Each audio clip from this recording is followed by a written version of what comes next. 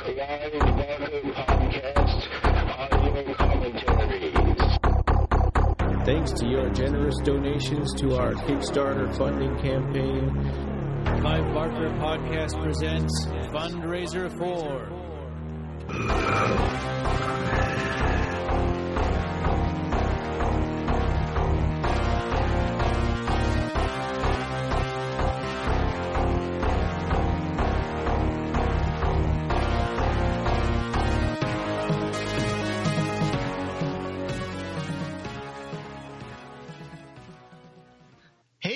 Right. So, are you guys ready for uh, Hellraiser Bloodlines oh, yeah. commentary track? Oh, yeah. Okay. Got it all set up here.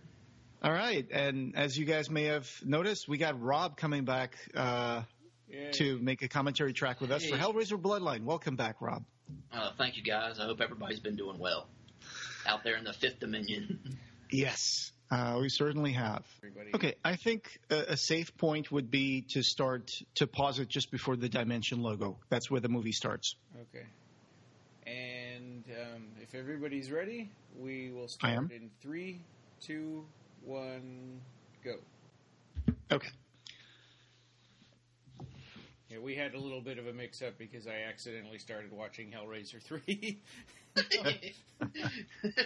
That's what you get. You, oh, there's Pinhead. yeah, yep. And you, it's funny on there previously when you said that, I'm like, I don't, maybe I blinked or something. Yeah. Well, we just saw that big boo from Pinhead there. It, Yeah. it was a good way to insert his character way in the beginning of the movie and please and scare the audience. I remember watching this movie in the theater in 1996 when I was at the Fantasporto Fantastic Film Festival in Portugal. And, and and back then, the fans literally clapped when Pinhead came on screen for the first time. Well, and, and also the producers were upset or, at an original or at the early cut of the movie, right? And because Pinhead wasn't in it for a long time, so now they, Yeah. now this way they can kind of say, oh well, if that's what you want, we'll put him in before the title screen. yeah, I know. Absolutely. Because he showed up only like an hour into the movie or something. There's Adam Scott. If anybody's seen, uh, he's gone on to some really great things. He played Shots in the film. Oh Uh, yeah. And Pat and Pat Skipper. I actually got to do a little interview with Pat Skipper. That Well, know, uh, the guy who played Jacques was in Parks and Recreation, right? Yes. uh, yeah, exactly. And he was recently in Krampus. Yeah, the- if you've seen Oh, that recently. No, Uh, Really good film. Seen it. yeah, I like. really good. I really recommend Krampus. It was really amazing. Very good movie. Three editors on this movie, and it's terribly edited. Yeah, right. Really Oh, bad. oh. Daniel Licht, uh, composer, that uh, Great score. great score. I have it on CD. Very, very, Very lively. Very lively. All of- the DP also shot uh, Hellraiser three. And for Peter Atkins. Yes, Peter. Yes, absolutely. Good old Peter. So three Right. editors. What do you think? wh- Why do you think that happened? Did they do it in shifts, or did people just quit because this is this is movie is terrible? Or Probably I because. think- uh, go ahead. No, I was going to say I think you're right. I think it might have Yeah. been just because uh, the the movie post production was a mess. Yeah, Yeah. horrible. They kept doing all. You know, I think there was like three sets of reshoots after Oh. the initial shot shooting was done. oh no, So here we have the space station Minos in 2127. yeah, This is a cool scene. I like. I like the opening of the movie. I like the virtual reality thing that he does here. Yeah, it's really cool. And you know that's from Pete's one, Pete's wonderful wonderful script. If uh, you're a fan of the film or the history behind the Mhm. Peter Atkins' original script for this was much better. It's, it was like a a linear story told from past, present to future. And instead, it, this, you know, during the whole craziness of the movie, they changed the structure of the movie around. Here is the uh, space shuttle Theseus, uh, which of course is the name of the mythical hero that fights the Minotaur in the labyrinth. So there's a, a kind of a reference there. So yeah, like you were saying, we, we start off with the future segment according to the original intended directorial vision of Kevin Yagher. That was supposed to start like this. I think. No, I think it was he, he wanted he started it in the past, then went to present, then future. Okay, yeah, he was going to follow the the story of a family, right? Was- Yeah, Peter was going to start with uh, a family in Paris, like the Le Marchand family, or something like that. Uh, no, wait, it was supposed to start in London. but then they said, why not Paris and why not make it Le Marchand's family? So that's that's how they came up with the idea. What, what do you guys think of this trope that of using the same actor to play different generations of of you know it's of Le Marchand family members? Descendants. Yeah, it, it it happens a lot in movies, and and I always think you know I don't look like my grandfather, so I don't mind. It doesn't really need to be done.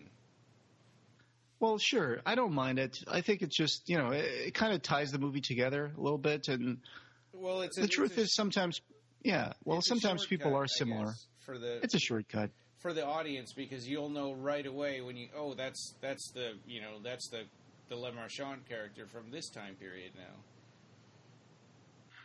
But you're right. They they do use that in several movies. Uh, this is like one of the most blatant examples of it. So this was uh, three space CGI animation shots. That was the company that made the animation uh, CGI here. Oh, it looked pretty good. Yeah. No disassemble. In Johnny Five. yeah, I know. And here we go. Here's Pinhead. Yeah. Only four and a half minutes in. Now, this is, I think, part of the reshoots in the original version. You don't hear this conversation. You see, actually, in the work print, I think they, you see him talking to Pinhead, if I remember correctly. This this whole idea of getting Pinhead early um, instead of starting in the past, like you said, it, it forces the movie to be a, a, a big kind of telltale flashback. You know, Yeah. to tell, cut in a series of chronologically ordered uh, segments.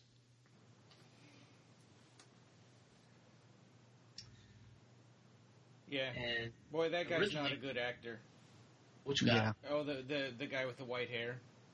Oh, yeah. Though, is it, did he give some cheesy line to Pinhead at the end of the movie? Something like Yeah, he asks him, "What the hell kind from?" of planet are you from?" Yeah. Yeah. God.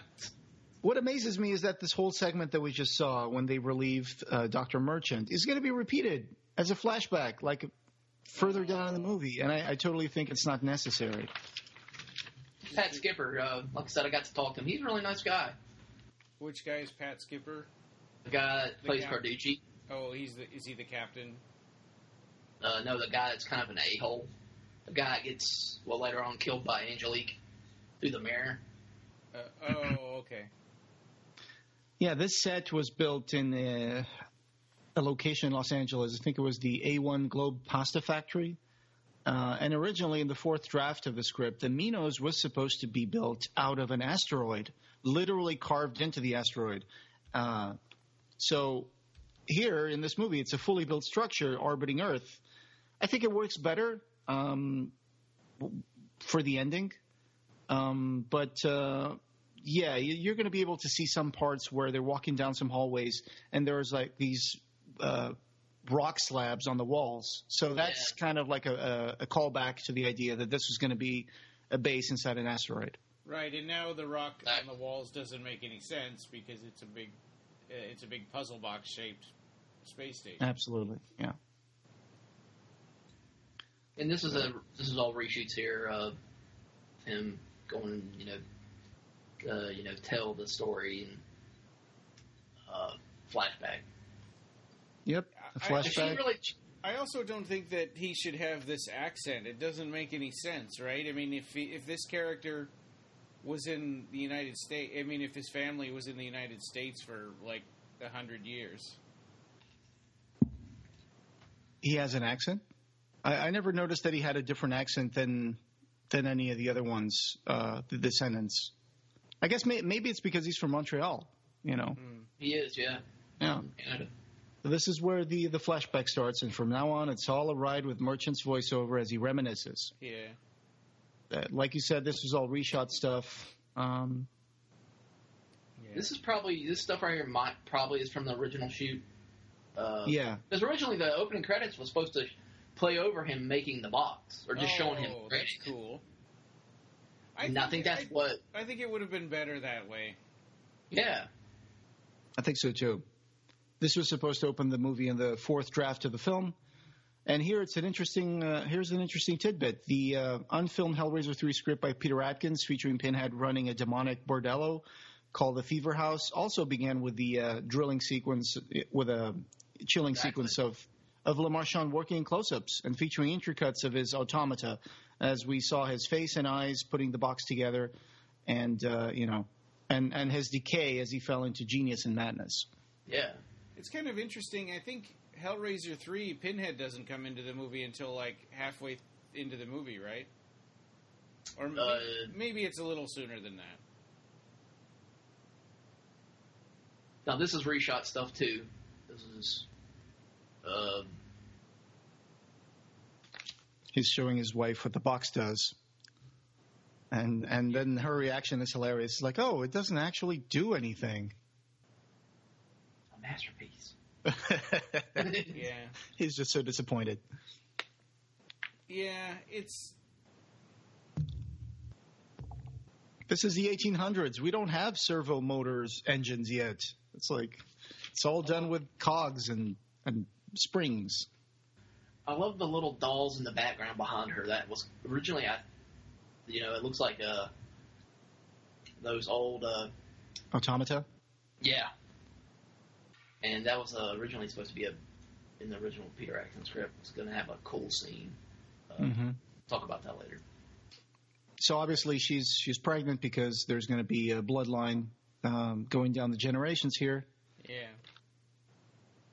also makes the whole I need to go out at midnight to deliver a box at a mysterious mansion much more risky because hey, his wife is left home and she's pregnant. So Yeah. Valentina Vargas and Adam Scott, uh, she's she's been dubbed throughout the whole movie. Um, Oh, really? Yep. Yep. In the work in the work print, you actually get to hear her voice, which I wish they would have used her voice because it's so much more seductive sounding. yeah, maybe they thought the voice didn't have the right accent, but personally, I've heard her the real voice in the uh, alternate cut, and I, I prefer it. Yeah, I do too. Yeah. And this is a great. So, this is a nice, nasty little scene. I think. of. so did they just uh, dub her because they th- figured she shouldn't have an accent? probably. maybe. So But I, yeah, I don't see why not. this is a rewrite, rewritten scene uh, by Rand Ravich, I think. Oh,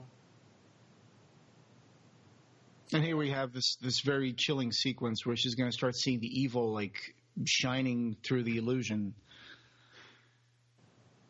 But those nails he has is just nasty character. He is pretty nasty. That's played by Mickey Cottrell. Yeah. He's a pretty good character. He's a pretty good actor. Um, he played Duke DeLille. Yeah. and we've said this before. Delille is a lot closer to the Le Marchand character that we know from the comic books. Uh, yeah, yeah, that painting, you know, we we see that they have him. Oh, that reminds me of this guy. Yeah, and and how immoral and evil he is. Oh yeah, just that look in his eyes in that painting. He's, you know, he's not right. He's had a very long career, Mickey Cottrell.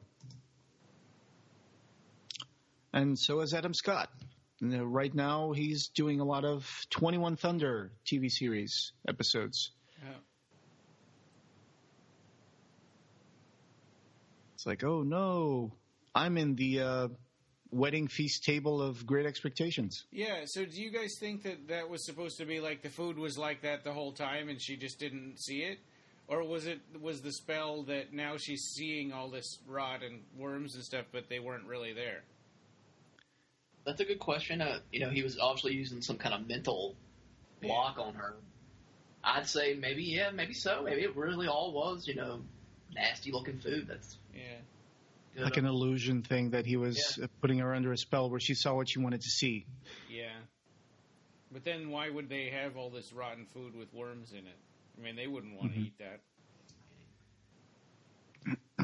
This was a scene. This scene that we just saw was the scene that opened up the work print that uh, some people have around there in, in the in the internet. It's funny to say that um, none of this was in the script until very late into production. Like you said, this must have been rewritten by Rand Ravich. because this in the original Peter script, there's like a whole. He goes actually goes inside the house where he meets Angelique. She's already, I guess, a demon, it's been risen as a demon, and we come to that card player scene. Yes, yes, she's the Princess Angelique. He's, she's introduced uh, by uh, Duke DeLille. It says, "Oh, this is the Princess Angelique." Yeah, So we never really see her getting summoned um, for the first time, at least. See, because what he's reacting to here is the card scene, right? The original shoot. That's what he's seeing, and then you know they've reshot all this new stuff, and that's how they added it together to make it, you know. Yeah, I think those those shots of Le Marchand looking through the window was yeah he would be looking into the card card player scene where they're Yeah. playing cards and Angelique is taking a piece of clothing off. when she gives him the box and she says every successful turn of the puzzle I will respond in kind. This is a good scene, though. I think you know it definitely gets under the skin, no pun intended. Uh, yeah. yeah. Some of the shots of the, the skin hanging are later additions to special effects uh, stuff. But I, I I like it because it shows us that before the box existed, there were still ways to access hell yeah, uh, through spells and magic and you know Yeah. summonings. The the thing that I don't like is this idea that you know hell from the 16th century was like more typical, you know, uh, like demons and the devil and stuff like that and pentagrams, and then it's like, but the modern era hell is the one with the Cenobites and the Leviathan, and I don't know, it just.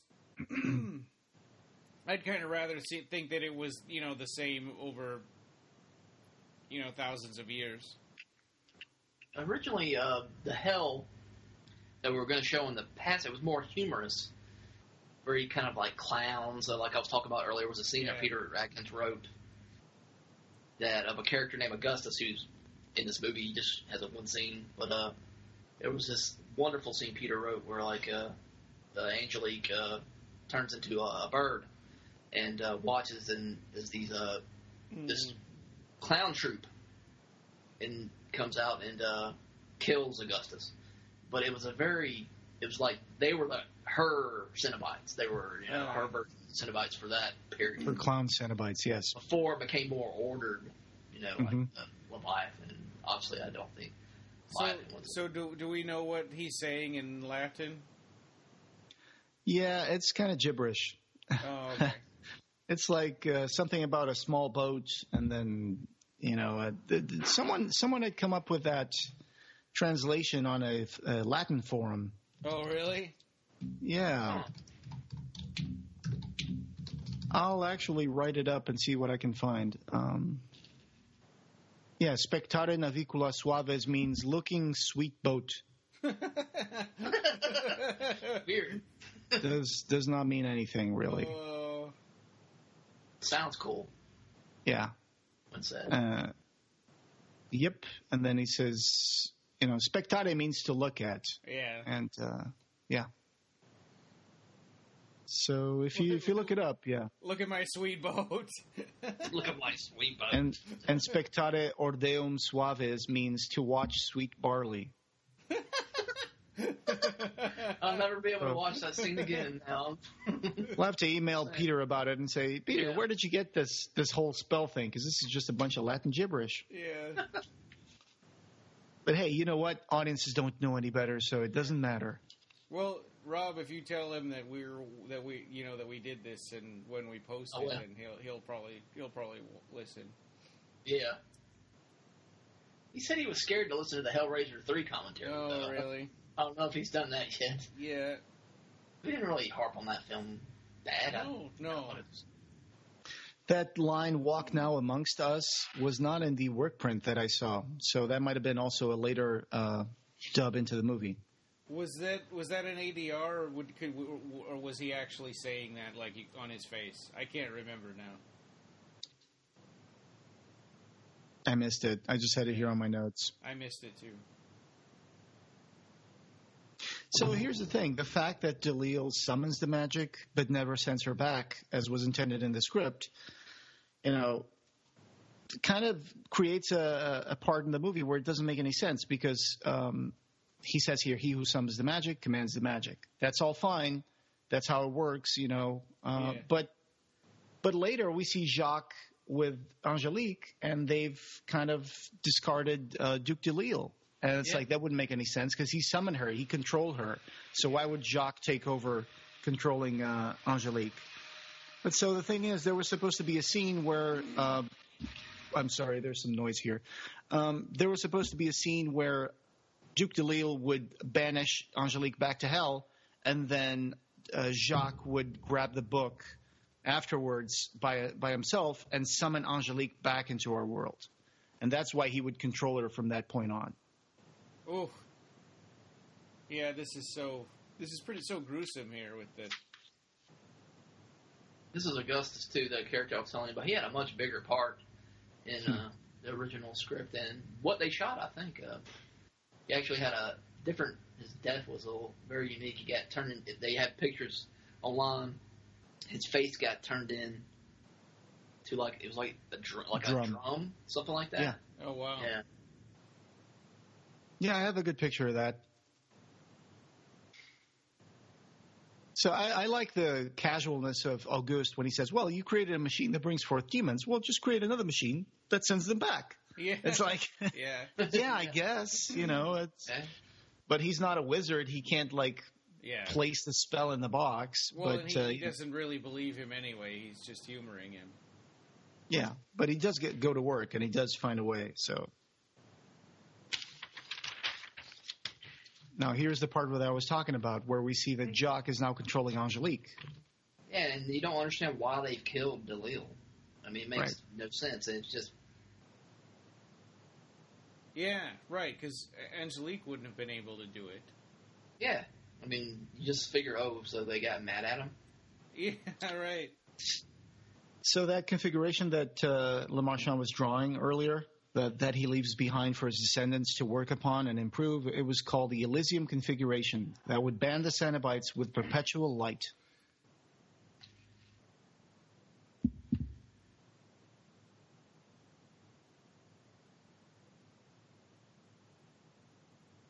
I always wondered why Philip went back to get the box. Um, Yeah. I guess he was trying to keep it from, from opening up again and bringing forth more demons. Or maybe it was because he couldn't get his Elysium configuration to, to come together. Or maybe he just wanted to steal it and get rid of it. You know, it would be easier than coming up with the Elysium configuration, right? Yeah, if only he hadn't gone back inside. Yeah, that's true. I guess it adds more tension, what makes it a horror movie. Because honestly, it doesn't really matter, right, whether he had died or not. For the story. Yeah, there was supposed to be a scene where, um, like I said, Angelique would uh, try to kill. I think it. Uh, Rob, help me out here. Was it Angelique was going to try to kill uh, Le Marchand or something, Yeah. and then Delille would banish her? Yeah, he banished her back into the. Uh, uh, he got her into the the pentagram that was on the floor. That was it. Yeah. Yeah, and uh, remember the the whole uh, ball scene they had? There was like a whole sequence. I mean, this, Yeah, there was supposed to be a ball cut out going so on. much material of this original 18th century. Yeah, I think the past segment is the one that got cut the most. Oh yeah, Yeah. because now it's Oh. just kind of like it just comes. It's over before it really begins. I mean, Yeah. there's no no meat to what you know every all this stuff. And afterwards, here, uh, after the sequence, we were supposed to see Genevieve, uh, Le Marchand's wife. She was supposed to be shown boarding a boat to America. Yeah, pregnant. And Jacques was originally supposed to, after Angelique gets uh, sent back to hell, he uh, summons her, and that's how she becomes his. I guess kind of like he just uses her for, you know, pleasure and, you know, kind of like a sex toy. Yeah, and whatever things he wanted to do, and, and keep him young too. Yeah. Yeah. Yeah, I um I I was when I watched this earlier, I was thinking it would be um it would have been interesting to see a little bit of his their adventures over the centuries, you know. Jacques and and uh, Angelique. Yeah, that'd be interesting. Uh, originally he gets killed by being crucified on a Oh wow. wall. Uh, uh, Marchand. Jeez, that's harsh. Yeah, and um, well, and also if Angelique is really interested later on, you know, in the movie to find out that there's a that there's a, uh Le Marchand in America, why did why wasn't she hunting down his heir earlier? because she couldn't leave Jacques, I guess, and she didn't know where they were. Uh, In the original in the original script, it does touch on that, Ryan. The question you asked, because uh, Angelique, uh, uh, the wife Genevieve, mhm. you know, mentions that she's pregnant and that you know Angelique wants to kill her. Oh, Um, really? Yeah, that was in the Peter script, and because she didn't want the she didn't want the bloodline to continue. But then she that's when that's when Delil, yeah, that's right. Delil comes in and takes some gets her into the pentagram and sends her back to hell. Oh, wow. I, I highly uh, recommend reading that script. It's um I think you can find it. Uh, well, you know, you guys can maybe post it in the show notes. Okay, that sounds like a good idea. So here's the merchant talent for design and architecture oozing through Le Marchand's work. Um, this is going to be, of course, now they're not called Le Marchand anymore; they're called Merchant. And uh, I like the way that they connected uh, the ending of Hellraiser three with this movie, Yeah, Yeah. where the building, yeah, the building was supposed to be a tie-in from the Hellraiser three building that we will see in the that we see in the end of that. But it's not exactly the box isn't exactly in the same place where Joey threw it. You know, at the end. Yeah, I know. It's in a pillar in the basement instead of just being in a concrete slab. That's right. also the dream scene that he wakes up from was a little different. It did show Angelique holding the heart, but he dreamt about his grandmother or something like that. Yeah, very It's creepy like- scene. Yeah. Yeah, she's like Johnny. They're, he's telling Johnny, you're the one they're waiting for, or something like that. It was Oh. weird. Yeah, and then Like she when he's a starts little kid. floating up, and then we see that her dress is like super long, and she's just Yeah. floating up and back again, like Johnny, you're the one, Johnny. That that kind of uh, goes uh, towards what Kim Myers is going to say here about no, it's your grandma. She put things in your head. Yeah. Yeah. There's there's so much. Uh, I don't know. It, it seems like they just just barely do enough. You know, just to get the story out, and that's it. Like the, these lines about you know, oh, your grandmother filled your head with that stuff. It's like you just got to keep the story moving along, and I don't. I just I don't like. I think the the weakest part is this uh, present day stuff. Yeah, a lot of stuff got cut out from it, too. Yeah. Mhm. Not as much as the 18th century, but a ton of kind of like, you know, also, I mean, Angelique was originally kind of, there was like a little love story going on between her and John Lamar- Merchant. her- Lon. Yeah, and just the bloodline. And um, that got lost too. So back in Paris, Jacques is about to break hell's rules. Yeah. This is all reshot. Uh, the whole sequence where he, he's going to be uh, attacked by Angelique was all reshot to make his death look better. Originally, he was going to age through all the years that he had been magically spared in Oh. a single in a single blow. like Indiana Jones in the Last Crusade. That's right. Yes, Yeah. and there's actually pictures of the molds they did to uh, to age Jacques' head. Uh, they never. I don't think they ever shot it, but it was going to be done by uh, Kevin Yagher's effects team with some mannequins and a series of um, of um, uh, dissolves. You know, like a series of dissolves. yeah. Um, so they were going to show one face, and then they were going to dissolve to another older face, and then ultimately, you know, down to the almost skeletal part. Uh, so they decided to do the sequence instead. I think the aging might would have been probably better. I do too. It ha- she had him suffering a lot more. He suffered through the process of the aging, and this one he does too. I can't say he doesn't, Yeah. but just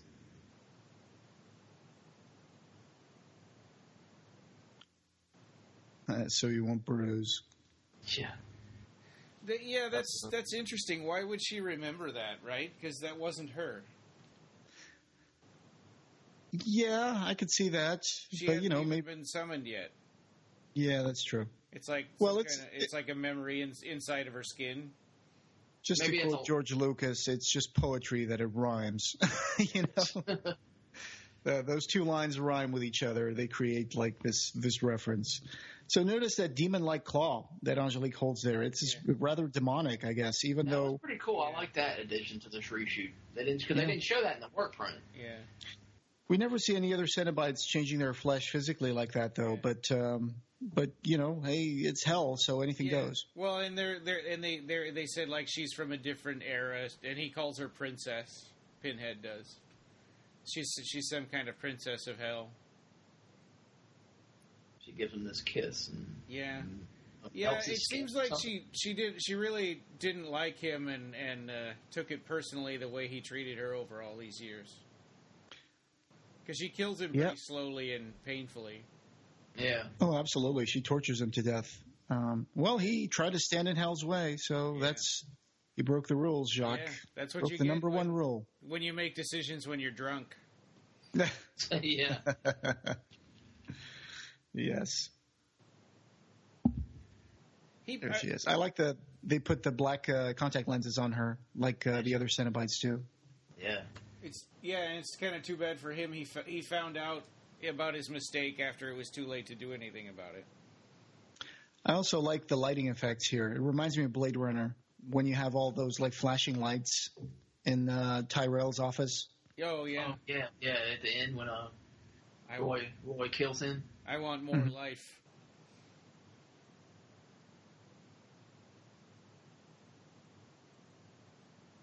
The original d- director of photography got fired on this movie. Uh, I don't know who it was. I've always wanted to know who it Oh, was. but really? Maybe something.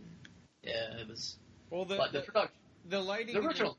the, lighting in the present day stuff in America is not very good. It looks like a TV show. This The this budget was pretty low Yeah. for the story. I think the the budget came up to about four million dollars, which was the same amount spent on the previous sequel, Hellraiser Three: Hell on Earth. It seems like they spent all their money early on the past sequences, and and then uh, then they just had to like this. This is like a warehouse or something, right?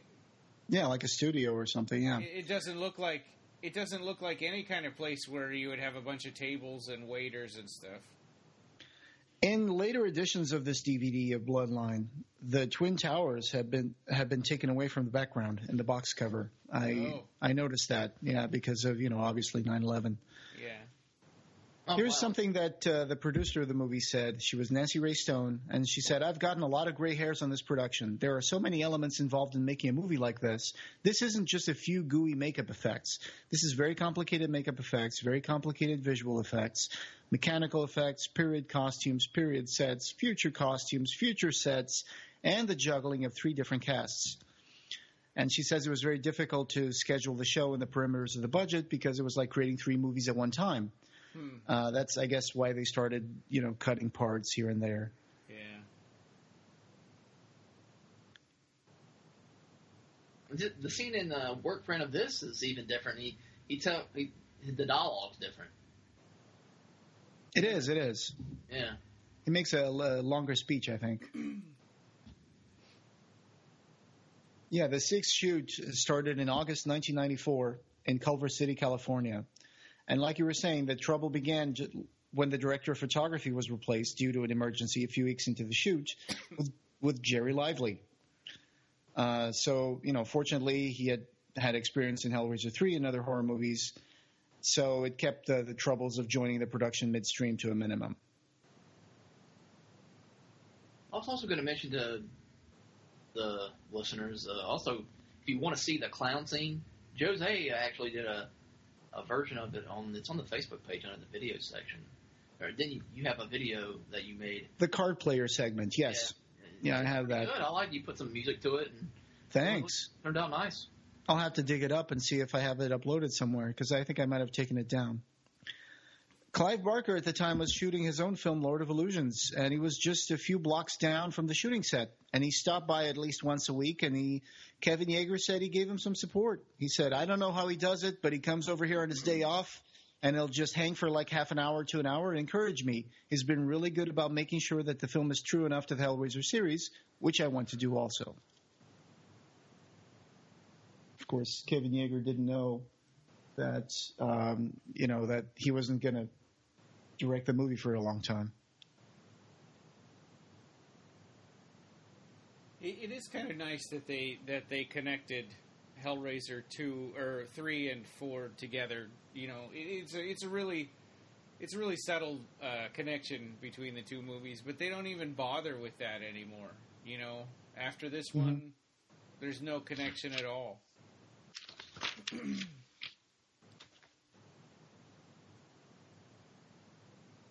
Now this guy's called Sharp. Poor sap. Angelique is going to use him to open the gateway to hell. Yeah. I guess she needed someone to use her soul as currency for it. Yeah. It would have And been the wor- funny if one of the if if like a some Cenobite said, "I thought it was not hands that called us; it was desire," and Pinhead was like, "Oh, we don't do that anymore." I assume, you know, that she doesn't have a soul like the Cenobites, so she needs a soul to summon them. Oh, may, yeah, maybe. when Right. she uh, punched, I, I wonder if she if she's not allowed to um, to manipulate the box. there's classic uh, Hellraiser style. Uh, you know the the lights through the wall. Yeah, notice how the walls paint is already kind of distressed, and it's a brand new building here. Yeah, oh yeah, Runs the right.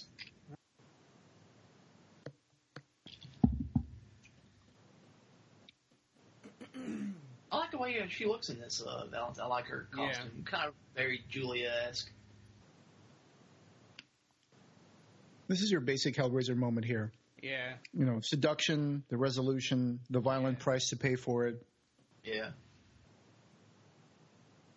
What's happening? Oh. There's a chatter beast. Oh, I love that dog. I love it. There's a there's a figurine of it from Yeah, the got it hanging uh, on Nika. right now. Yeah, Great figure. Yeah. Oh, that's harsh. Yeah. Although he Yeah. wasn't on his throat when he was getting dragged anymore. He was just holding on to it with his hands. yeah. yoink. Oh man, everybody started clapping when I saw this sequence when I was Oh. watching the uh, European premiere of the movie. Yeah, I like the Yeah. way they went back to uh, Pinhead's uh, kind of old school. Uh, I like the design in this one. Where, absolutely. from Part three, you know, it kind of looked like a porcupine in a way, with all the how the, Pins. the nails were kind of like you know the pins were so tight together. You know. Yeah, and when I saw this on the Fantasporto Film Festival, Doug Bradley was in the theater with us, so uh, Oh, cool. he did a little Q and A afterwards. That was so cool. That's cool. Here, Angelique was supposed to say, "I was expecting my clowns." Oh, really? Yeah, Because what he, his response to it, it, Pinhead says like, "What hell's less humorous?" That was going back to what was originally shot about the clowns. hmm it's cut differently from the work print and, and runs slightly longer um, here with their dialogue.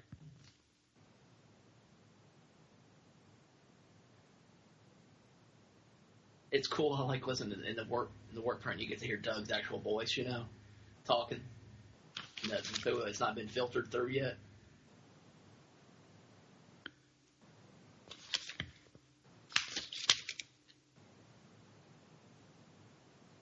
I like this line. This is not a room. This is a Holocaust waiting to awake itself.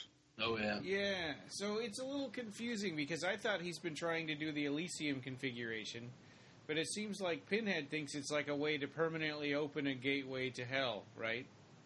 Yeah, they kind of rechanged that when they were like in the production. Because obviously, that's just like you said, it was supposed to be the Elysium configuration and showed how the concept was evolving through the decades. Um, Yeah. It, but yeah, that was sup- mm, yeah that was supposed to do perpetual light in that building. But yeah, I think Pinhead should have recognized that and would have just wanted to kill him imme- immediately and destroy all that stuff.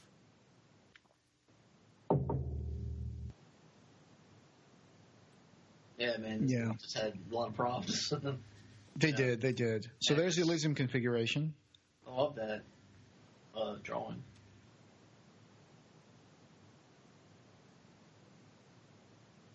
I think she recognizes it here. She sees that it's uh, Yeah, she didn't really know what it was at first either. Yeah.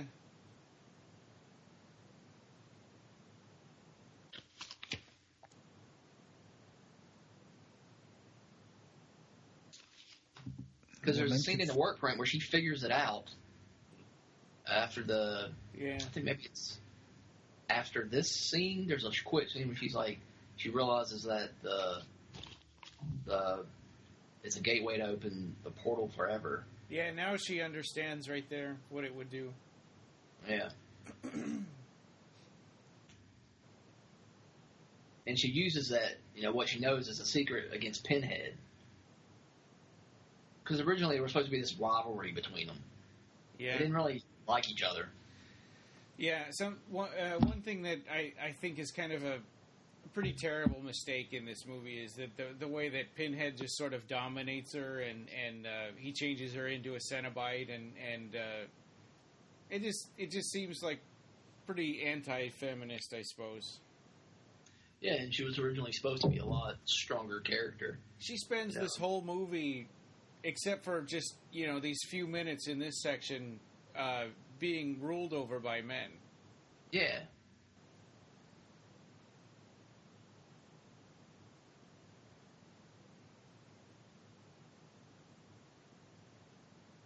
Wasn't Angelique still an attempt by Clive? I mean, Clive has always wanted a kind of a female villainous role in Yeah. the Hellraiser series to be a strong female, because that's what Julia was Yeah. supposed to be.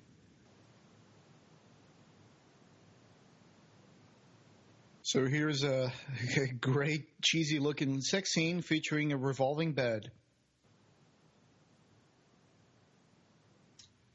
It looks like Angelique is getting inside his head here, yeah. Yeah.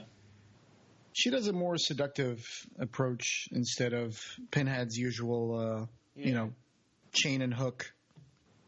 Looks like they shot it inside the same place where they shot the uh, summoning scene. Although I Oh. think that Pinhead's uh, Pinhead's kidnapping uh, plan is not very good either. I mean, what's the point of that? Why doesn't he just? Why didn't he just take uh, John Merchant instead?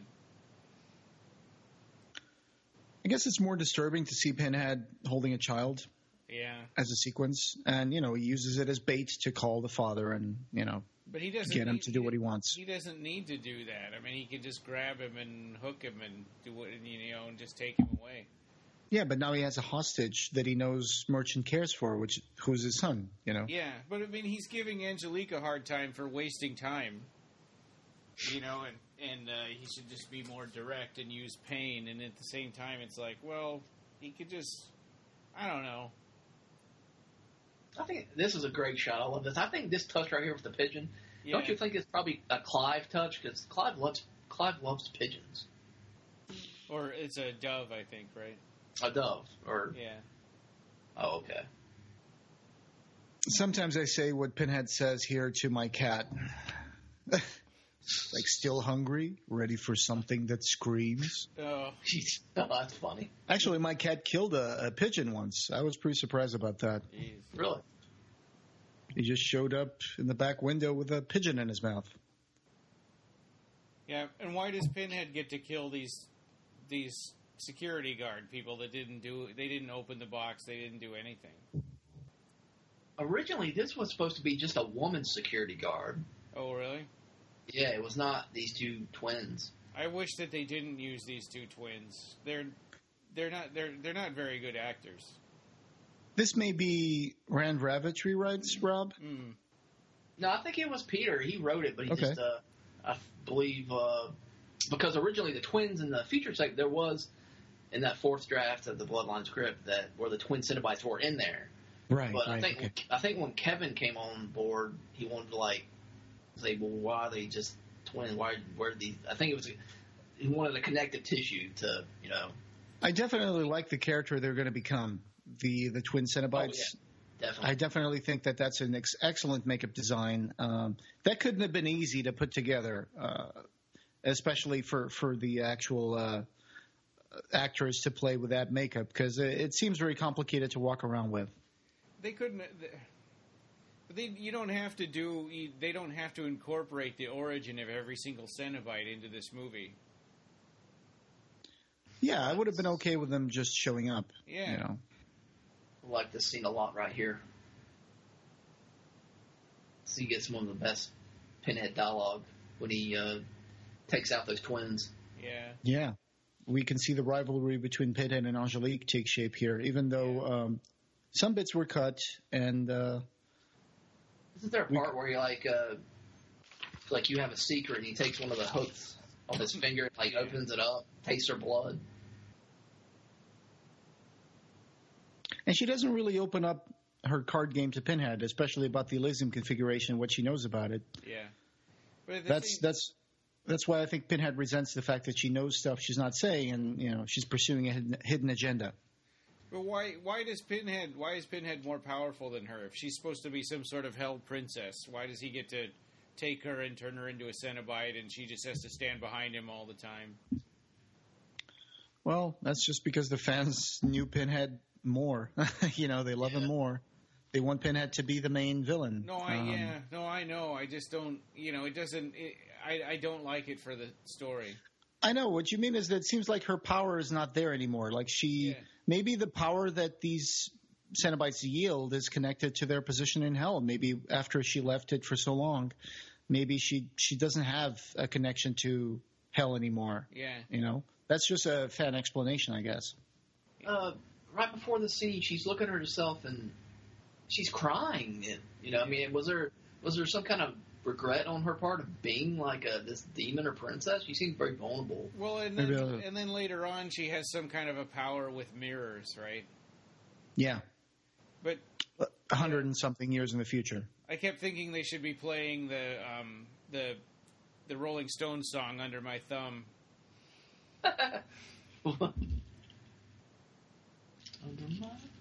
Yeah, these these are these are kind of comic relief. These two security guards. Yes, Uh-huh. and the movie I don't, they're- I don't mind them. they it doesn't really work that well. I mean, it, they're not they're not funny, and the rest of this movie doesn't really have jokes in it.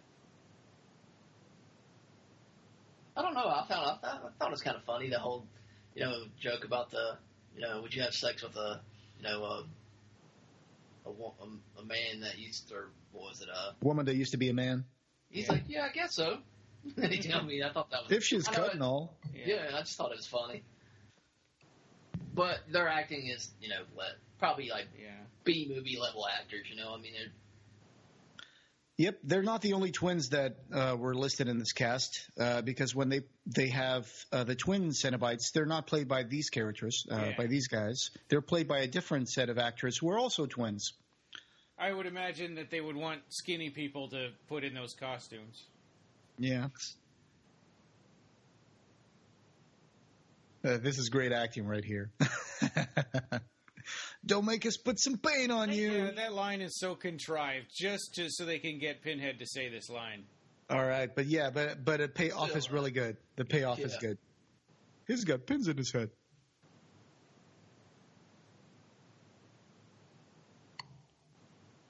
Pinhead totally does not care about the guns. He's just like, eh, it's okay.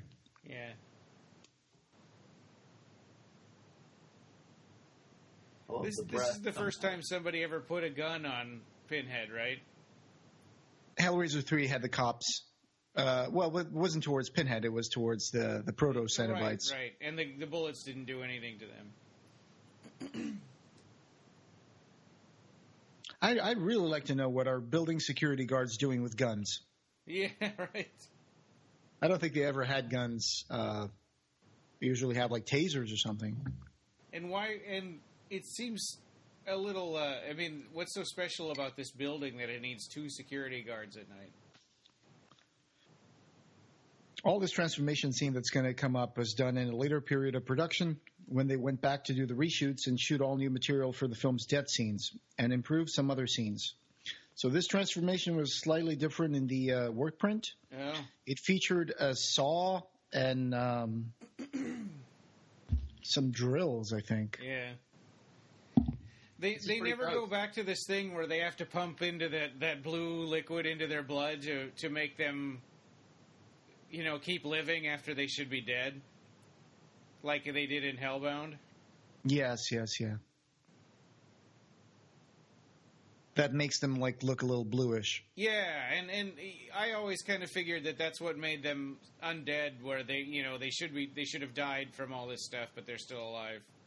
Yeah, it should be like that blueness that comes from hypoxia Yeah. when, uh, you know, a corpse. And there's a little bit of uh, CGI in there. Oh wait, no, never mind. There it is. I take it Yeah. back. Still think uh, Channard's uh, his uh, when he gets turned into a Cenobite's better. The twins that are going to play the Siamese twin Cenobites, they are Mark and Michael Polish. And and they would also play Siamese twins in a later movie they wrote and directed called Twin Falls, Idaho from 1998. Just two. It's a very strange actors. movie. Yeah, a very strange movie. I think uh, I recommend it. Uh, but they play Siamese twins in that movie too. They have to be separated, and there's all this anxiety about are they going to both make it and stuff. A really tight close up on Pinhead. Here's our Glenn Close lookalike. Yeah, I think, man, look at those mom jeans. Yeah, those were really like that. I think that the that Merchant's family is pretty weak. You know, I mean, as far as like you know, just sort of milk toasty, you know, wishy washy actors, and the kid is terrible. Yeah, that kid. Uh, he was in the Shining uh, TV version. I couldn't stand him. Oh, really? Yeah. He He's was uh, he get- was Danny Torrance. Yes. Was that the Mick Garris um, Yeah, it was the Mick Garris adaptation? I liked it, Yeah. but Mhm. it just wasn't. Uh, it was him, the little kid. Hmm. Like, Yeah, on he's he's the main character for the whole thing. That that's too bad. he didn't really get on my nerves in this because he didn't really talk much. Yeah, I mean, no. There was also uh, some other things that happened during production, during principal photography, was that uh, they had uh, other kids. Another kid that was going to play in this movie, he got uh, chicken pox or something and had to be replaced. Oh wow, I think I remember something like that. he lost his big break. Yeah. This scene right here where she uh, goes to do the laundry was originally supposed to have a bit more uh, effect. It was supposed to be a bit more effects. Yeah, something happened Uh, with the uh, washing machine, right? Yeah, something happened in the washing machine. Yeah. Oh, I haven't read the, the script in a long time, so I kind of I can't remember exactly what happened. In Well, the there were four- They, uh, Hmm. In the work print, I was just gonna say there's a title card they bring up like washing machine goes crazy or so, something. so like John that. Merchant is like some kind of rich millionaire guy, but but her laundry has co- is coin operated. Uh, and it's also in a basement, but then there's a window that leads to a garden. Yeah, There were four attempts by Kevin Yagher to appease the producers, and, and these four cuts would vary in length between 110 to 82 minutes. Ultimately, Miramax wanted Pinhead in sooner in the movie, um, and a happy ending with Merchant escaping and getting the girl. So, you know, Yagher left the project after he found it was hopeless.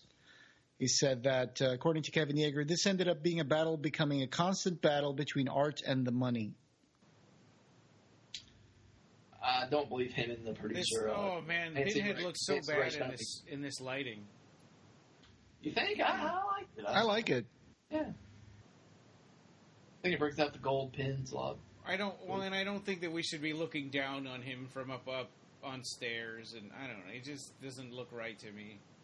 I, I never liked him in the daylight outside in Hellraiser three either. Oh, I agree with you there. I Yeah, Me too, yeah. didn't. Yeah, yeah. So I, I remember the uh, the the washing machine would be demonically possessed, and there would be light and noises coming coming Wow. through the floor. Yeah.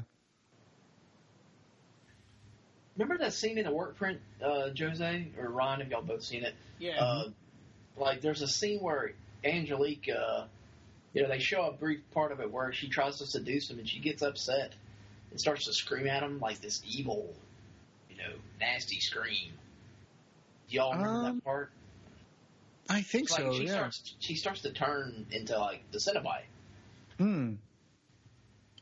But I need to didn't rewatch finish- that. Yeah, I need to rewatch that. But that sounds familiar. That Yeah, sounds familiar. We, we did an episode of it, but it was quite a while ago now. An episode about the work print. And the Hellraiser pos- podcast also did an episode uh, about uh, Hellraiser Bloodline. Oh, Well, they did episodes about all the movies. Yeah. Now here's the, the shot of the dog. Did y'all know uh, there was actually an actress that played in that suit? Yeah. The dogs. I didn't. Yeah, I didn't know that. I thought it was an animatronic.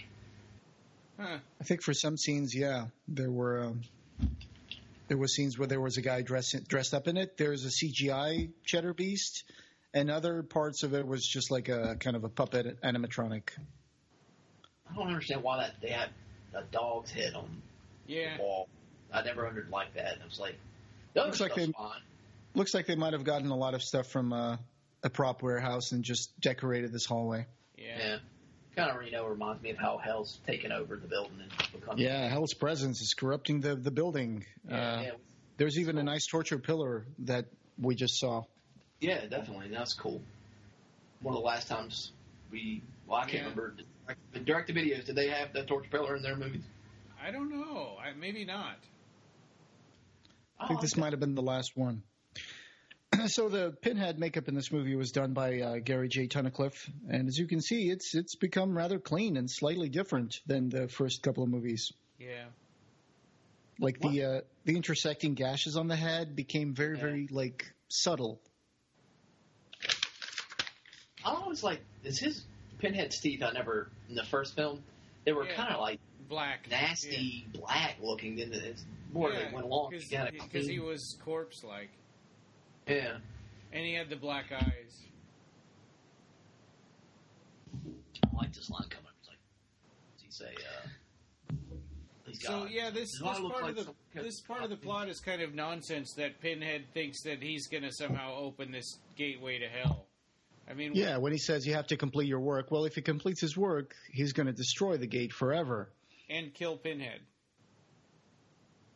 Because they changed the story when they were doing the movie, and it Yeah. just doesn't make any sense here anymore. Yeah, Yes. that's too bad. Did they done realize that when they were editing it? I mean, three editors just work on this. I mean, they, Yeah. they, you need to leave this in here. You know. Yeah. When he says the room downstairs, potentially a bigger pathway. Uh, no. Wrong. I know. Yeah, it's like so. So what does this mean? Does this mean Pinhead doesn't understand what he was looking at? Maybe he wanted him to alter the Elysium configuration somehow Oh, yeah, because he's got the talent to create, an, uh, you know, the the magic Yeah. box or whatever. So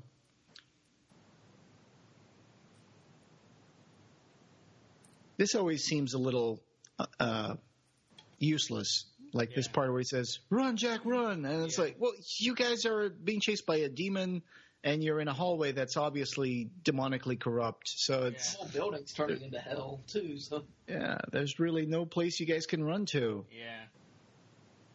And uh-huh. Pinhead's like, oh, okay, I guess we're doing this. Well, and that door looked like they were supposed to have gone into a room, but na- but they went into a hallway instead. It's like they. Why would there be a door from one hallway to another hallway? yeah. Well, that hallway is not on the charts. Oh, I see. Remember? Remember when the, the, the yeah. And here you can see in this hallway that there's no ceiling to this hallway. It's just weird. It's uh yeah. seems like something that someone just put together inside a warehouse to shoot the scene. It's an interesting hallway design, but it just Yeah, doesn't yeah. seem real. It seems like the the the background of something, like Yeah, behind the scenes It almost looks like it's reused from the space station. Yeah. this is a great dialogue scene, though. I really like it. I think it's just This movie also introduced a lot of different powers to Pinhead, like the the one he's going to show here, where he can mimic someone else's voice, he's the predator. Right. Right. Yeah, he's a predator. or the T1000. Yeah.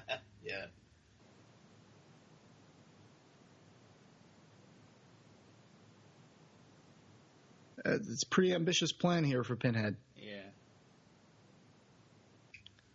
But then I think it would kind of uh, make the whole idea of hell useless. If if hell could just like take over the world, then you know, Yeah.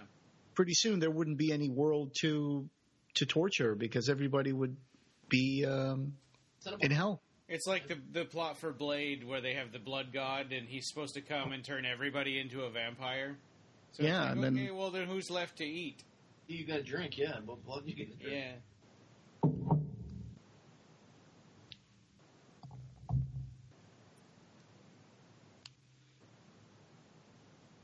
A lot of the dog stuff uh, right here they cut out. I don't know. I thought it looked pretty good. You see the dog Yeah. originally jump through the door too. Yeah, Uh, it's it's like a But now combination of like Alien Three and uh, and like Ghostbusters. yeah. Just, Oh, I see. Yeah. the way it's I can see that. Now it's just so choppy. It is a little choppy, yes. But I like the idea that, that somehow the design of the Chatterer is present in most of the Hellraiser movies Yeah, in one form or another. Yeah. Although the most ridiculous one is Torso in Hellraiser 5. yeah. This one's pretty badass. Um, I although it's kind he'll of be shown back up in the new one, won't he? It's, it's a will be in little bit one. ruined by this this scene here because how would she know that that would do anything?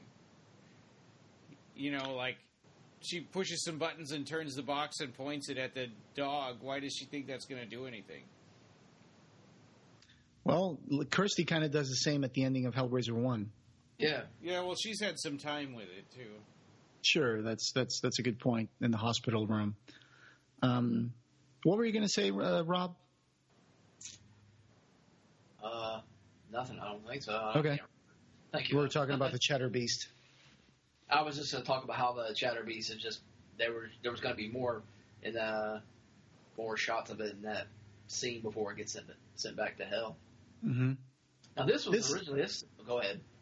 No, I was going to say that's just a great shot, and I think Yeah. Doug Bradley signed a bunch of pictures taken from that still. This scene was different because it shows how Angelique originally was trying to destroy Pinhead, Mm-hmm. And uh, there's a, there was a scene where he fly he, a hook comes out of his mouth, and he flies up to the ceiling. Do Well, here we are, that? this, the end of the movie.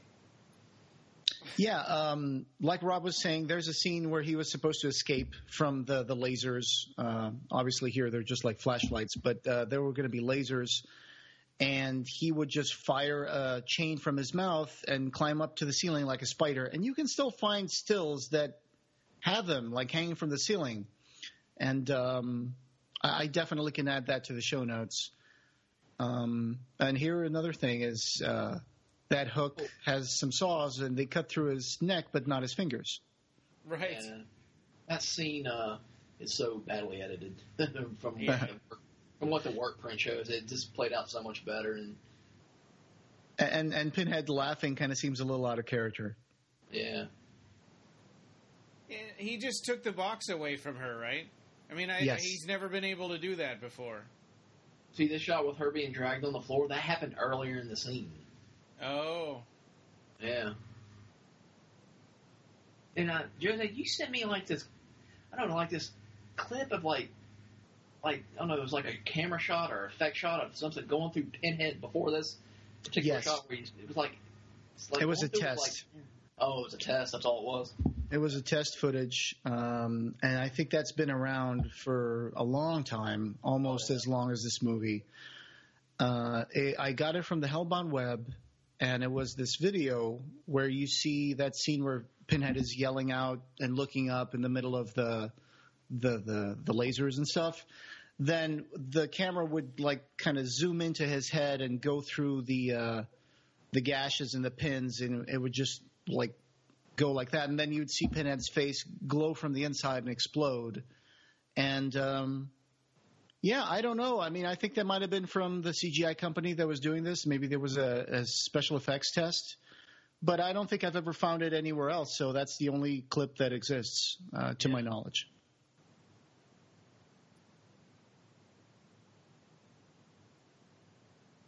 We've discussed this, Jose. We don't like how it goes back and shows us again.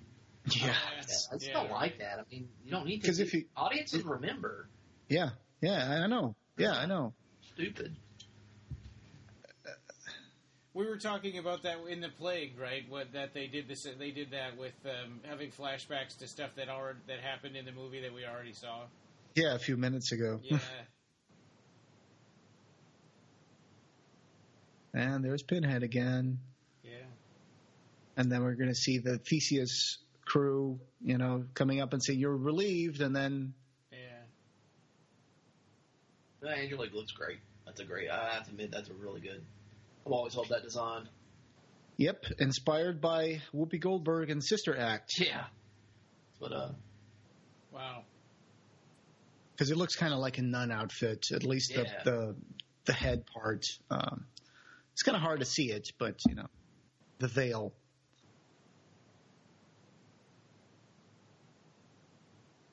I always wondered why he thinks that that big vault thing is going to keep the Cenobites inside.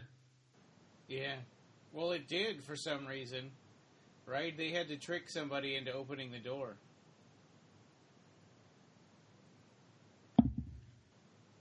Well, we kind of forgive that because, um, you know, the, the, when you read the script, there was a really gold golden gem in this, but uh, unfortunately, there was just not the budget or the or the director's talent to bring that to life. I mean, remember in the remember in the work print there was a few scenes that were shown where like yeah originally he doesn't he cut his head off not cut his head off but uh, cut his hair off he had long hair originally and then he cut That's it off right. then he then he That's talked to right. some like hologramic a hologramic like priest, Priest, yeah. Yes, Before he did there the was a scene that that might have been written by Rand Ravich uh, and Joe Chappelle, who did the reshoots. Um, so there is a scene where uh, Merchant is preparing to summon Pinhead, and he feels like this is the end game. And so what he does is he has long hair, and then you see a, a sequence of him shaving his head. Then he confesses his sins to a holographic priest, and then um, you know he he asks for for strength to do what he must do, and uh, and that's why his head is shaved.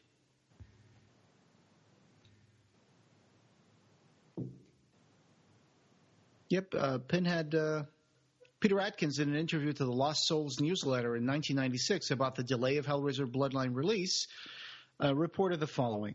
He said they needed to do more shooting. They liked a lot of what they saw, but some of it they didn't. Plus, they wanted more. So they brought Doug back and a few of the other cast members and did what they call an enhancement shoot in early April of 1995. Hmm. Since then, they've been back and re-edited. Now they're about to do another six days of shooting to improve Pinhead's death. The movie will finally be released in March 1996. So basically, the reason they were spending the extra money in having this extra shoot was just they wanted to keep the franchise alive for part five, part five and six. Oh, So at one point, nobody really cared about this movie anymore. yeah, that's really a Ex- shame.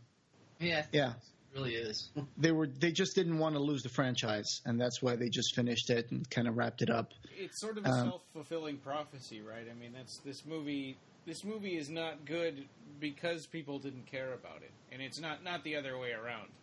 Yeah, like uh, interviewed by Dave Hughes, Doug Bradley commented on the post production. He said it was horrible. Everything about it was dark and impenetrable. There were a number of fundamentally bad decisions made very early on, primarily to do with trying to shoot Bloodline for the same money and in the same time frame as Hell on Earth. But not only did they want it shot in LA, which is expensive, instead of North Carolina, which isn't, it was clear that this was far away the most far and away the most complicated Hellraiser script, certainly more so than Hell on Earth. And like Hellbound was obviously going to be relatively effects heavy. So even before we started filming, I had some serious doubts whether the movie could be shot in 36 days on the money we'd been given. The irony, of course, is that they ended up spending the extra money they were refusing to commit in the first place. Yeah, uh, before uh, it's that kind character Parker in the original uh, his death was different he got killed by the Chatter Beast oh, and they reshot his death to make it a little bit better, which I think is was the right thing to do. I like the reshoot, reshot better. Mm-hmm. I think that Except- they shouldn't have ex- had the same Cenobites for the for the last like hundred years. I, you, you would think that over that time he could have picked up some new ones. Well, he did. Did Siamese twins, Chatter Beast, and Angelique? That's They're- what I'm saying. Those are all those are all characters that we saw in the present day. Oh, I see what Yeah. you mean. Right. So yeah, like 120 years in the future, Yeah, and but he hasn't picked up any new Cenobites since then. or 110 years. Yep. So um, And then Doug Bradley did two weeks of reshoots. So he says they weren't really reshoots at all. They were shooting whole new material. And there were at least two other sessions which didn't involve me. So, like you said, Rob, earlier in the commentary, there were like four, four different reshoots. Yeah. I mean, there's no telling how much deleted footage. I'm sure all that footage that got deleted of the 18th century is out there somewhere. Mhm. Um, I hope they so. Can, you know, if the surgeon scene can be found, I'm, I know for a fact that this has got to be out there somewhere. Such an amazing makeup for Angelique there. And you see back there behind that guy, the wall is made out of rock. There we Yep, go. That's why. Yeah. you know. Yep. Now it's just like you said, it doesn't make any sense. Just, Yeah.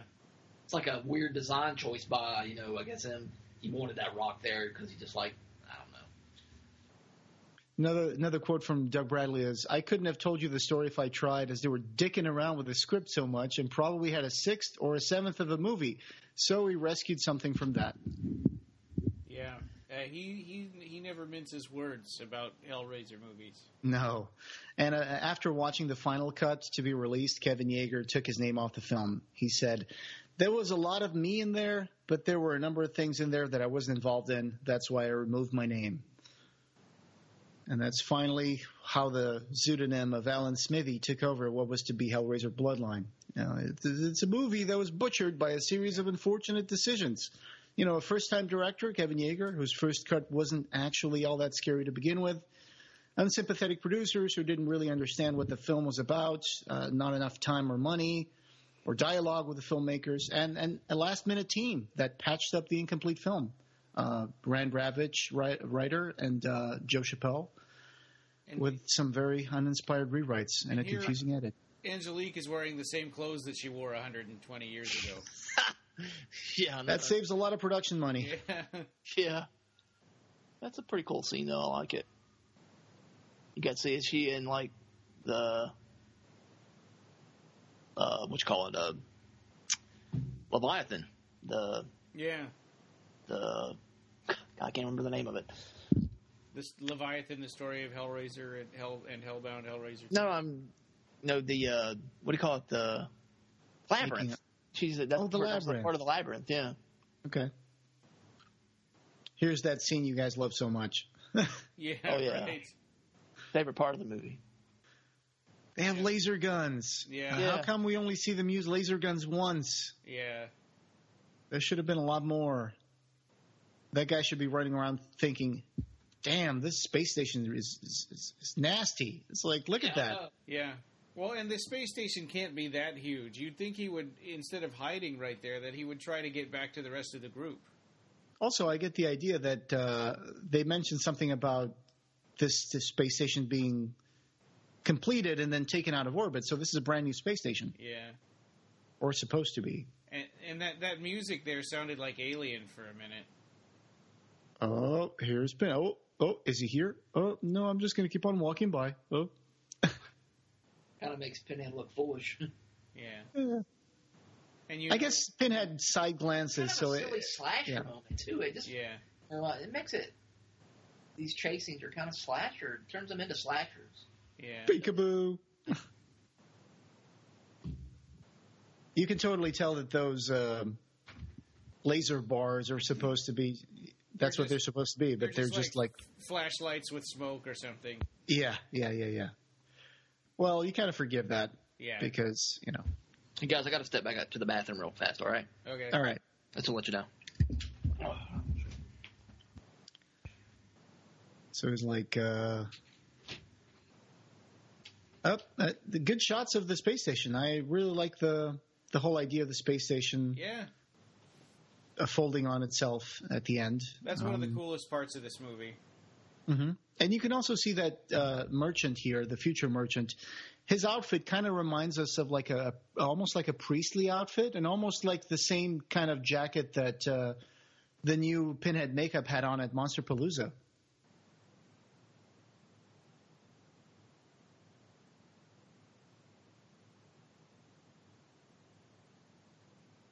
Well, obviously he doesn't know how to use the box here, but. Uh,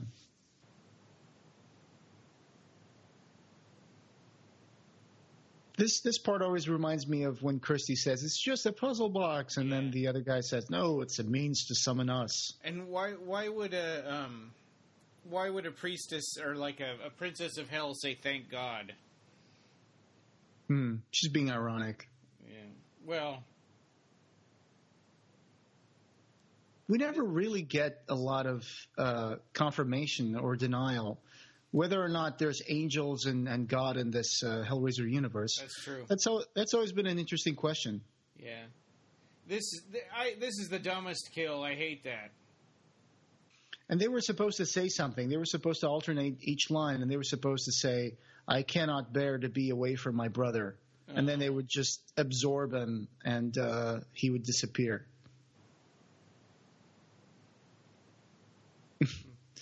I think it's funny that uh, his earpiece falls. Um, This countdown, it seems like a little bit of a cheat, right? Because earlier it said there was 12 minutes left, but it seemed like a lot more time had gone by than just the six or whatever minutes since then.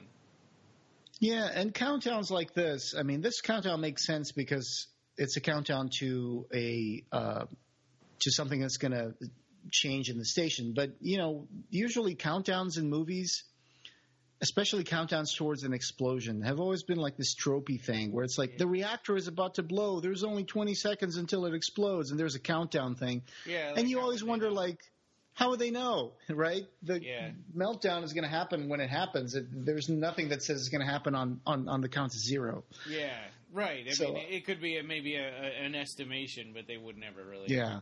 I mean, in this case, it's appropriate because it's a countdown towards um, a change in the station. You know, it's not. Yeah. Yeah.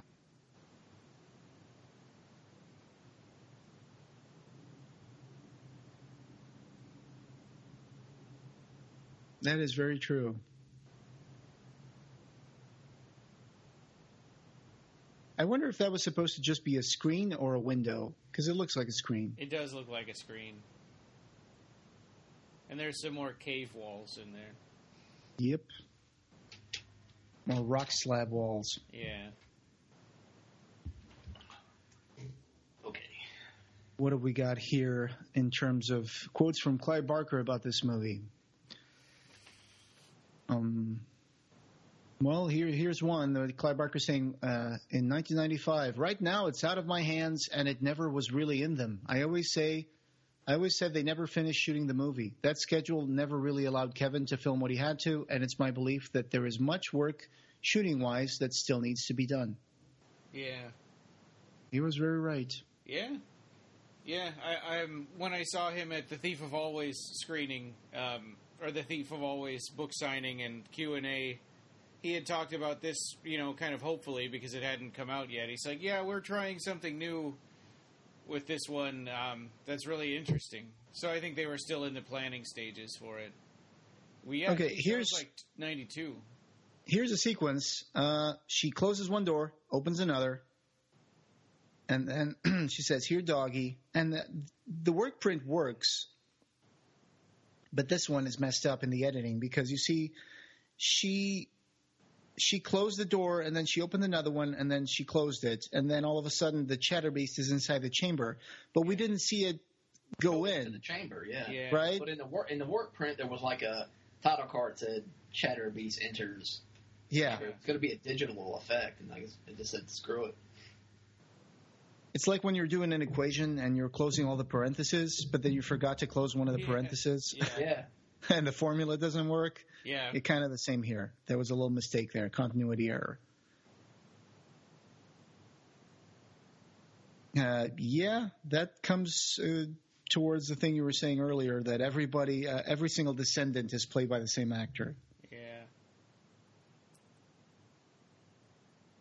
You can tell the differences in uh, the difference in his performance, uh, Bruce Ramsay. It's really clunky. His performance in uh, the way throughout the reshoots. You can tell he even stopped caring. I think Yeah. about you know the character because I think in the original shoot he really enjoyed you know uh, the uh, the direction Right. of the stories. There, That's so silly. that famous scene where I know, he gets fooled by like- a by a A hologram. yeah. Yeah, I know. He's like, I, I, I'm not, I'm not used to technology. What is the internet? Yeah.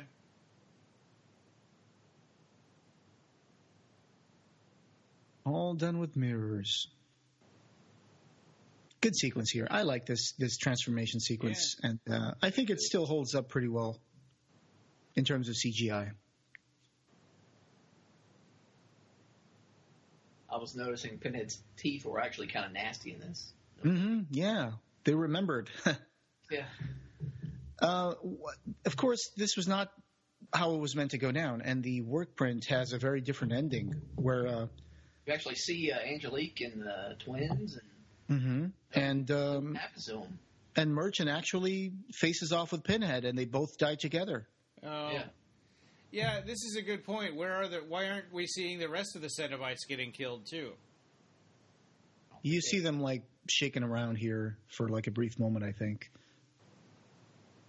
Oh wait, no, I'm thinking about the work print. Work That's print, right. Yeah, yeah, yeah. That- yeah, I mean we know Chatterbeast exploded, wh- which is a little bit of a cheat.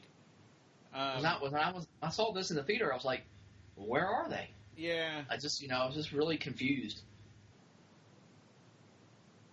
yeah, it's almost like well they're not as important as Pinhead, so we don't have money to deal with that. Let's just skip it.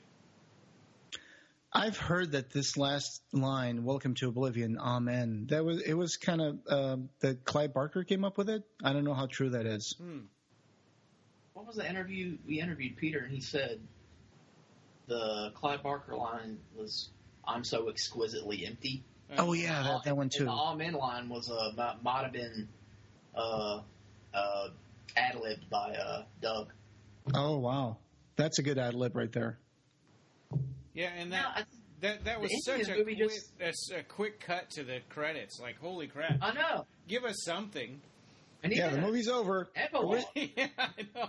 Get out. Originally, you were supposed to see uh, some tumbling pins in space after it That'd have been explodes. better than anything. I mean, you know. is like having the usher grab you by the shoulders and like push you out of the theater. yeah, exactly. It's very abrupt. Yeah.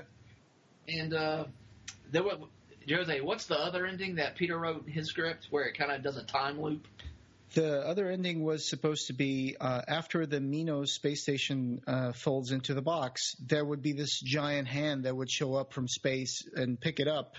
And then it would kind of dissolve into uh, Lemarchand's work table, and the hand would put the box down, and you would listen to, "Ha ha, I'm done."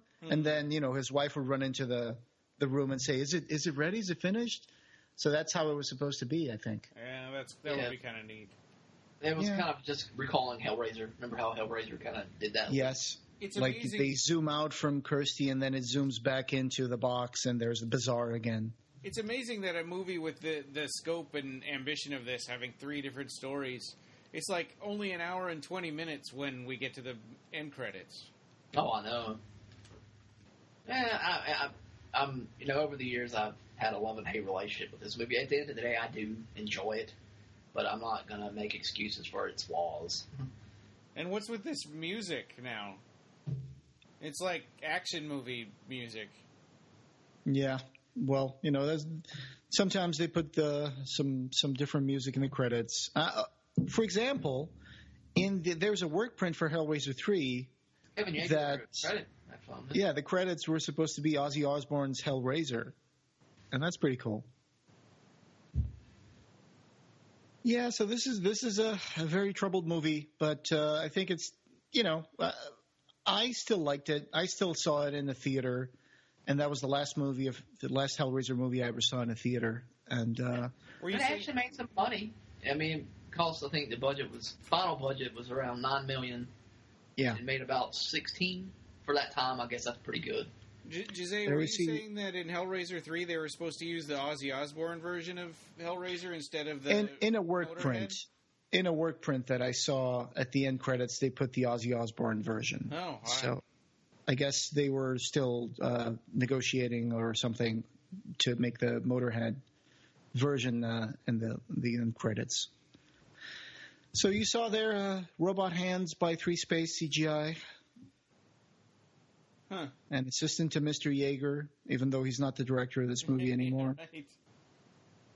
and teachers who probably gave classes to the kids that were uh, Oh, playing, uh, you know, Merchant's Kid. So uh, this is it. This is a very troubled movie, but a movie that I still like.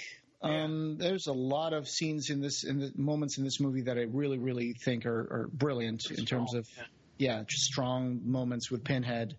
Uh, obviously, Peter Atkins' writing is is brilliant. I mean, uh, if you can get a copy of the script, just read it because it's a, the movie is there. The movie that was supposed to be is there, and he he in an interview he said, um, you know, that he wrote I think six drafts or something like that. Yes, wow. that's right. Yeah. Um, The fourth so- draft is the one that's out there. If you That is find it on correct. it. Yeah, I like He that. says, I, I'd written six versions of the script, six drafts, and Miramax always knew that the 18th century came first, and Pinhead didn't appear until the 20th century story. So it's not that anyone could blame Kevin for delaying Pinhead's entrance, because that's the way it was written. That's the way it was approved by Miramax. But I think that when they saw the movie, they suddenly felt, hey, wait a minute, where's our monster? We made a terrible mistake. They didn't finger point. They didn't say, oh, it's Peter's fault or Kevin's fault. They just figured, we should have known this originally. We should have brought Pinhead in earlier. And, you know, that's when they started actually pushing to uh, to make the movie uh, have Pinhead in earlier. And that's why we see the future segment opening the movie. So, Well, I think you know they should have. I mean, I guess you just don't. In hindsight, 2020. You don't know how things are going to turn out. But really, if they wanted Pinhead in the movie sooner, they should have figured out a way to, you know, work the script before shooting started, and you know, to fixing problems absolutely. instead of just you know going in Still- there not sure. It's too bad Mhm. because this this uh, what happened to this movie ended up uh, changing the course of Hellraiser movies for forever after that, right? I mean, they never even were good enough for for uh, theatrical release. Yeah, after this, everything went straight to video. Yeah, Straight to hell. yeah. So, thanks for joining us for this commentary track for Hellraiser Bloodline, guys. yeah, Yeah, really- I really had a good time doing it. Coming back and talking to y'all again is yeah, Good. always great. Yeah. We thought I'm we, go- we would have done Hellraiser uh, Judgment by now, but nobody knows what's going on with that movie. Or I'm curious, yeah, Yeah. since I don't get on Facebook much, what's going? I was going to ask you what's going on with that. There's no trailer. There's no. I mean, there's there's nothing. It's, I mean, nobody's made any announcements about the release of it. The only one talking about it is Paul T. Taylor, just saying he's excited about it. But Yeah, there was a recent interview with him, uh, I think on Bloody Disgusting, where they talk about his career as an actor and how he ca- overcame hepatitis C. Apparently, they talk about that a lot. yeah, yeah, and uh, Gary Tunnicliffe did like a three-hour podcast on on uh, some podcast called like 60 Minutes with. And uh, Yeah. he, ta- he talked all about the movie, and and uh, he said, you know, he he liked it, but he said they kept on changing the script. The Gary, uh, Weinstein kept changing the script, and he said there's going to be parts that people don't like, and I and I know it, and it's not my fault because if you looked at the original script, what you know, your people are going to say that should be there, and it was there, and so he's already started like saying, I know, that the, yeah, I know. that the internet. That's not good. That's not good. That's not a good sign, man. Yeah, What, yeah. what you just told me speaks volumes. Yeah. I mean that's. I He's mean, already, Absolutely. He's already distancing himself from it. wow. I guess we'll we'll see when it comes out. Yeah. And just as a closing thing, I did a music video for Bloodline once, and I think that uh, Peter Atkins saw it, and I think he t- he said to He me uh, that you did a better job. You did a better job with the yeah editing the movie than you know than like what they did. than the three editors. So I don't know. do you- is that still up on like uh, YouTube? Yeah, it's on Vimeo. I just added it to Oh. the show notes so you Oh, can okay. put it in. Okay, Okay. awesome. All right, guys. Thanks for this, and thanks for spending some time watching uh, Hellraiser Bloodline with us. Yeah, Take care, guys. yeah. Take care. You can find the show notes for this page and lots of Clive Barker news and features at www.clivebarkercast.com. Leave comments there or get them directly into the podcast by clicking the Send Voicemail tab on the right. Please follow us on Twitter at BarkerCast or at Occupy Midian. Like us on Facebook and join the Occupy Midian Facebook group. You can listen on the site or subscribe to the podcast on iTunes, Stitcher, Libsyn, TuneIn, Pocket Cast, Google Play, and Double Twist. Subscribe to our YouTube channel as well. Please take a couple of minutes to leave us a review on iTunes. It means the world to us and helps us spread the word about Clive Barker. The Clive Barker Podcast, or BarkerCast, is an independent editorial fan site and podcast that is not affiliated with or under contract by Clive Barker or Seraphim Films. This is a labor of love by the fans for the fans. Thanks for listening.